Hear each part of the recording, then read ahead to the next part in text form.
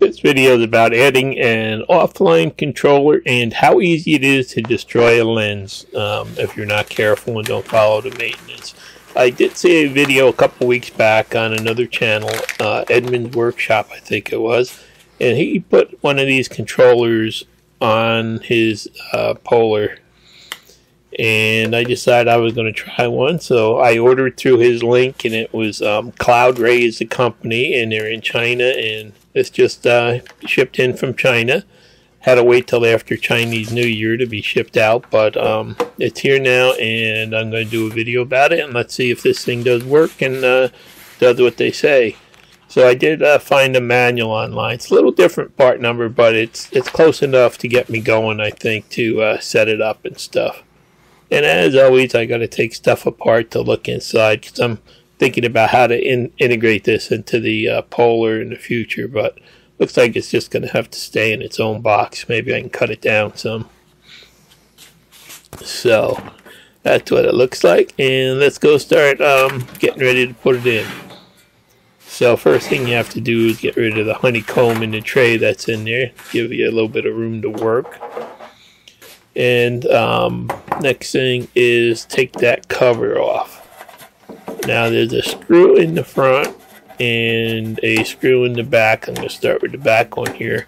And then there's two little metal clips welded on the side of the uh, side panel that you have to push out to get the cover to release. And that is not an easy job. Um, it takes a little bit of pressure and you have to, you know, kind of look down there while you're doing it to get it out and I actually tapped it with a hammer a little bit, but I did get it loose. And then a couple cables in the back there. There's one for the uh, cover limit switch, and there's also one for the uh, light strip that's on there. I'm just going to set it on the side now till I really make sure this is going to work. Um, because you know I saw that uh, I saw that he had installed one and it, it looked like it worked. Um, but the Cloud Ray company really knew nothing about, you know, if it would work with this. So there's a cover over the controller.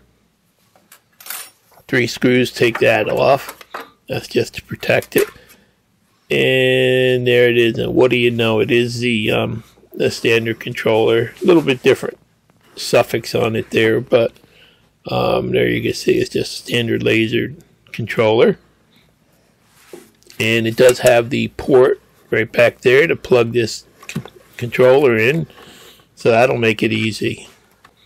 And a couple wires back there. First I tried getting the plug in with the other wires in there and just couldn't get it. So finally I took the two screws out and tipped the controller up on its side there.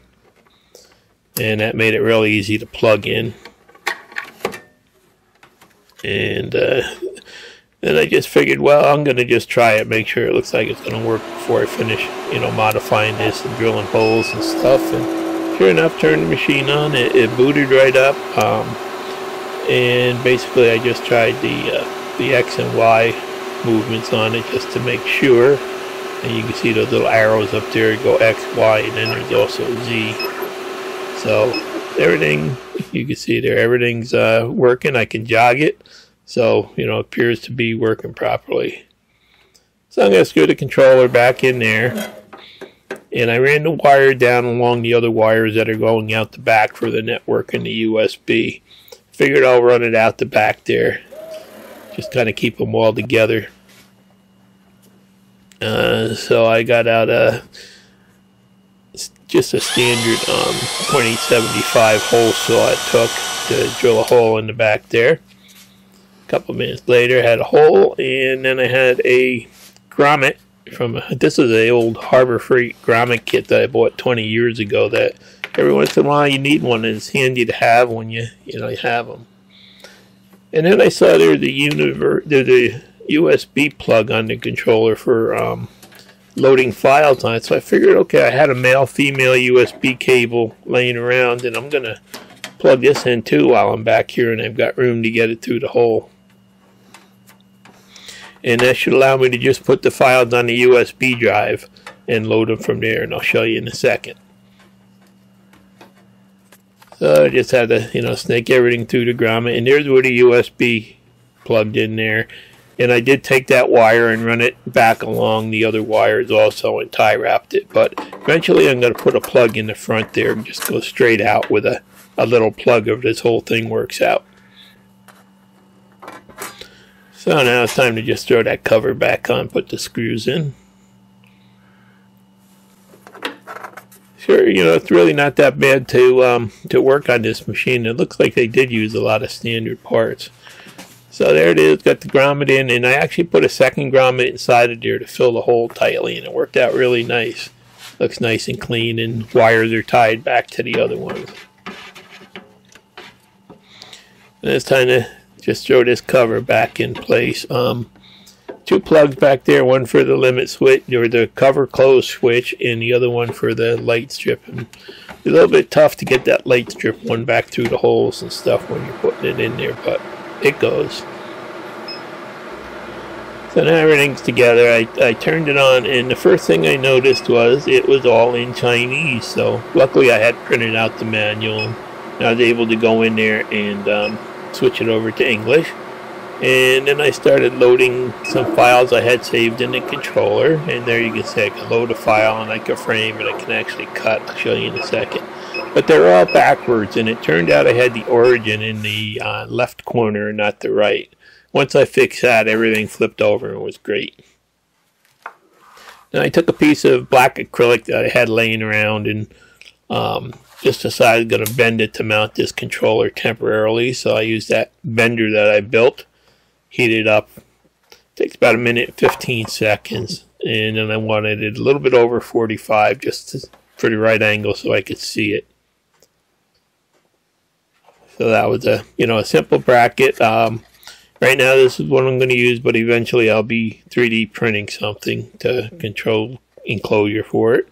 And then I use double-sided tape to put that on the back of the controller. And there you can see I put a little tiny rib in it too, to so it wasn't flexible. And I have this USB cable in. I have to somehow mount so that I can put a drive in there. So I just figured I'll glue it right onto the back of that uh, little panel I made. I'm just going to take some super glue so I can do this quick, get it over with. I just super glued all over the housing, smeared it all over there, and then um, took a can of the accelerator, spray it. Man, that makes it a quick job. 10 seconds later, after you get it lined up and in place, uh, you're done.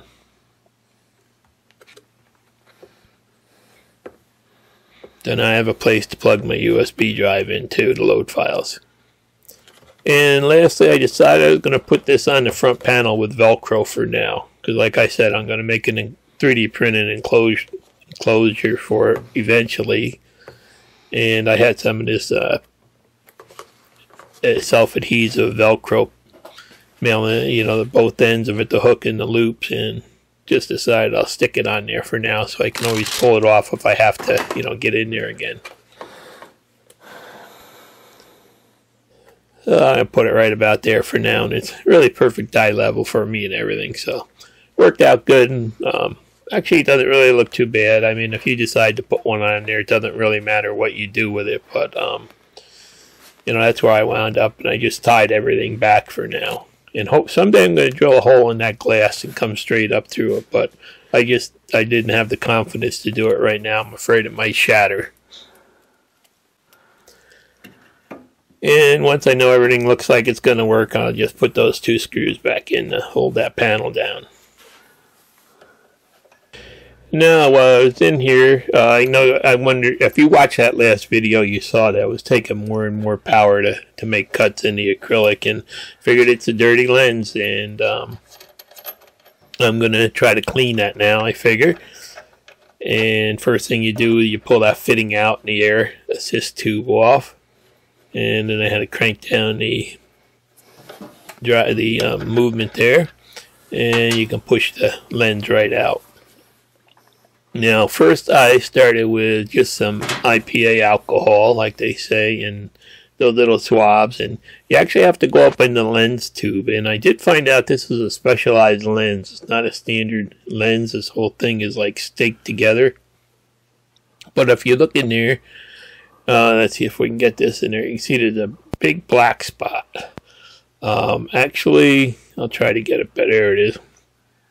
It looks like from doing all that acrylic, somehow it, the fumes got up in there and they fused themselves right into the the lens material and it will not come off. I tried the um, alcohol first and uh, let's see then I went back and I cleaned the mirrors. I figure while I'm in here I'll clean the mirrors and I did contact um, and I can't believe how fast their support got back to me and they're helping me out with this. So um, I was pretty amazed, but I did clean it with xylene. I tried IPA, I tried vinegar, and I tried acetone, and none of them would remove the burn mark. The only thing that would take it off, you can see in the center, I scraped a little bit of it off, but I figured, uh, seeing how it's off center a little bit, I'm going to try turning this lens 180 degrees, and maybe I can get a little more life out of it just to finish up this video here. But you can see it's, um, you know, it's definitely I should have cleaned it after like every hour doing acrylic, I think, just to be safe. That acrylic fumes, they get up in there, and um, apparently the laser fuses into the lens. So, you know, it's kind of my fault. It's a learning experience when you've got a new machine and, you know, you've never been through stuff like this. But that's one thing I'm going to recommend that you um, check and clean these lenses often. And when you get your machine, I'm probably going to recommend that you get a spare lens um, just to have it in case something like this happens. Um, because it's real frustrating to be, you know, to be stuck trying to finish a job with, without a lens. And here's the other lens that comes with it for the long focal. At first I thought I might be able to get that on there, but I can't. And that one there actually uses a standard size lens in a standard retainer, so that won't be easy to change if you have to. But um, as you can see, it sticks down way too far. You have to use that when you you know have the bottom panel out. So I'm just gonna fire it up here, and I just want to make sure it still works. Um, see what happens. And I did do a couple couple test shots, and I did turn it a couple times till I got a um, the best possible results. So here I am, just uh, moving the. You can see I can move the exit line now, and uh, put them where I want and I can move the Z down to the focus and this is where that little plastic focus gauge is easy to use um, I can just sit here with the controller hold that gauge here and set the focus really quick. Now I was going to run a focus ramp test but the, until I get the new lens I'm not going to do that. I'll do that in another video. But for now I'm just going to um, show you. I'm just going to fire the laser and poke a hole in here just to, to make sure it's um, it looks better. And after rotating into the best spot, you can see there's a little hole I just uh, blew through. You can see the other big one by my left finger that's really big. And you see this one, once I turn the lens, I found a spot that still works on it. So, you know, it doesn't look too bad.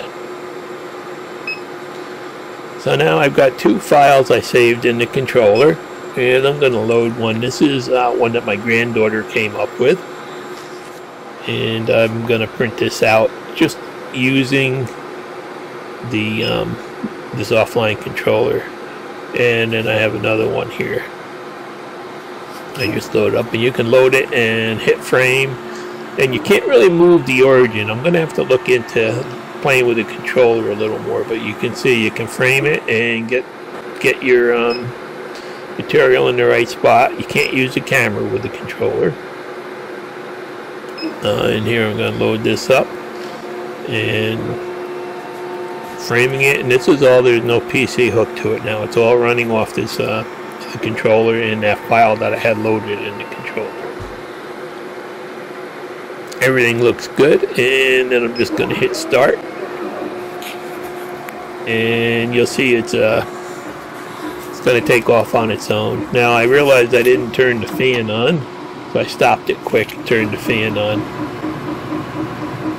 And then I started up again and um, the fan in the back of the machine does not run with this offline controller, but the big fan up on the ceiling takes care of everything. There you can see that little red line going across. That's actually the laser working and where it's going. This controller really um, does does work nice. It's really gonna you know up the game for this machine, making it a standalone unit. And there you see that big blower up there is handling it all. And the only other fan is the cooling for the um, the radiator. That gets pretty loud at times, but you know that one you you need.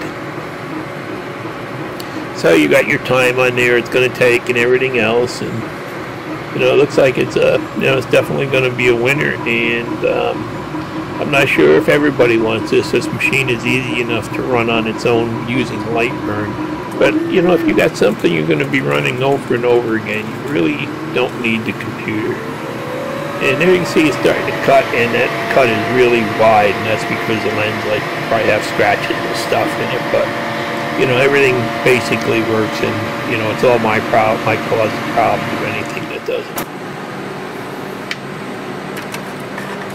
So a couple of minutes later, um, pull it out and it's done. It did, it actually did the beautiful job and uh, no problems. Uh, controller ran the job. Uh, settings were all right. Everything worked, so I'm really happy.